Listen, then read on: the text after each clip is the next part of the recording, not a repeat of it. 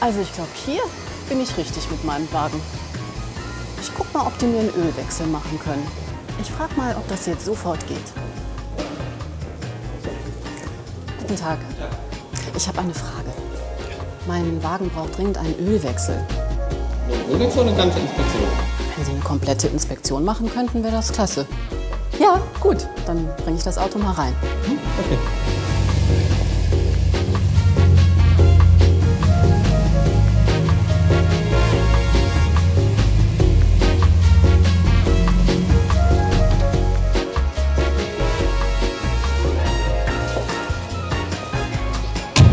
So unkompliziert und schnell kann es gehen, wenn die Werkstatt an das System Postmaster angeschlossen ist.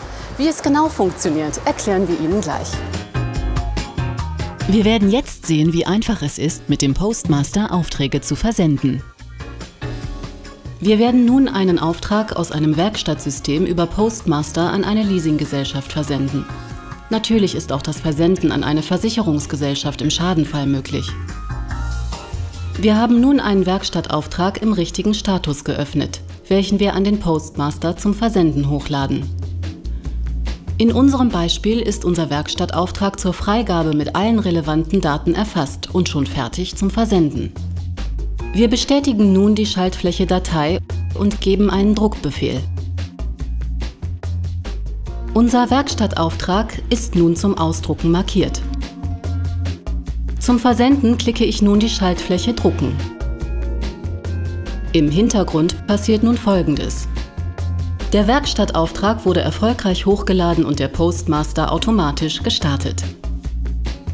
Über unseren Postmaster können wir Leasingunternehmen sowie Versicherungsgesellschaften und Partnerwerkstattnetzwerke ansteuern. Ich wähle nun den Empfänger aus, an den der Auftrag gesendet werden soll. Weiterhin die Vorgangsart und das Kennzeichen des Versicherungsnehmers. Wir sehen nun, dass die Schaltfläche Absenden freigegeben wird. Jetzt klicke ich die Schaltfläche Absenden. War das Versenden erfolgreich, erscheint ein Bestätigungsfenster. Alle von Ihnen versendeten Vorgänge werden im Postbuch festgehalten. Weiterhin erhalten wir zur Kontrolle eine E-Mail, in der nochmal alle Informationen enthalten sind, welche wir versendet haben. Sie erhalten nun im Anschluss eine E-Mail, die uns die Freigabe zur Wartung bzw. Reparatur gibt.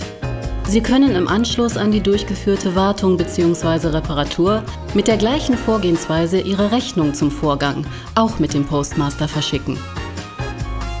Postmaster. Kommunikation genial einfach.